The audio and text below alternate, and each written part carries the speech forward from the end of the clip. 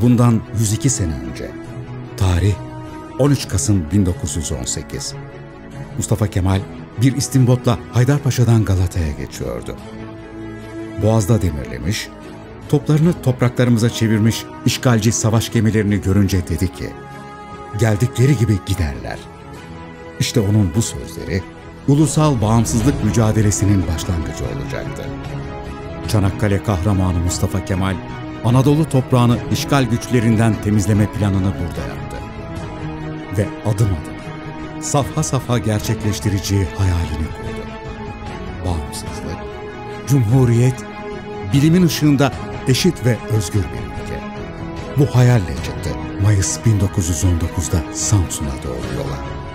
19 Mayıs 1919'da Samsun'a vardığında o günün kurtuluş, bağımsızlık ve çağdaş bir Türkiye için bir başlangıç olduğunu biliyordu. İşte o gün geldikleri gibi giderler sözünün sadece emperyalist işgalcilerden kurtulan bir vatan değil, ekonomik bağımsızlık, çağdaş uygarlık ve ulusal bağımsızlık demek olduğuna inanıyordu. Bu felsefeyle yapıldı bütün devrimler ve 1923'te İzmir İktisat Kongresi. Bağımsız bir ekonomi için alındı kararlar. O günlerde ulaşım, enerji ve iletişim gibi birçok hayati sektörde işgal altındaydı.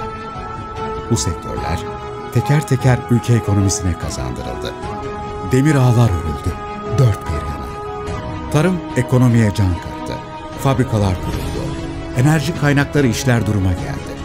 1926 yılında kanuni ticaret, Cumhuriyet devrimlerinin ilk yasal düzenlemelerinden bir tanesiydi.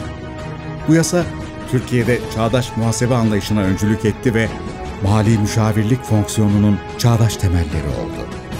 Sadece iktisadi değil, eğitim alanında da büyük bir devrim yapılıyordu. Okuma yazma bilmeyen halk okuma yazma öğrendi. Üniversiteler, sanat okulları, konservatuvarlar, köy enstitüleri, milli halk kütüphaneleriyle çağdaş uygarlık seviyesine yürünüyordu. İşte biz de bu iktisadi devrimler ışığında eğitim seferberliği izinde ve Mustafa Kemal'in önderliğinde kurduk mesleğimizi. Ekonomik bağımsızlığın temeli olma amacıyla icra ediyoruz. Ulu Önder'in tükenmek bilmeyen enerjisiyle çağdaş uygarlığa, gençlerle, kadınlarla birlikte hiçbir ayrım yapmadan yol alıyoruz.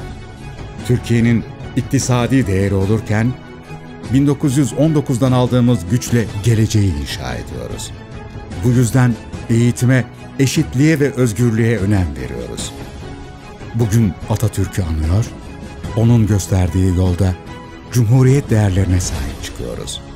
19 Mayıs Atatürk'ü anma Gençlik ve Spor Bayramı kutlu olsun.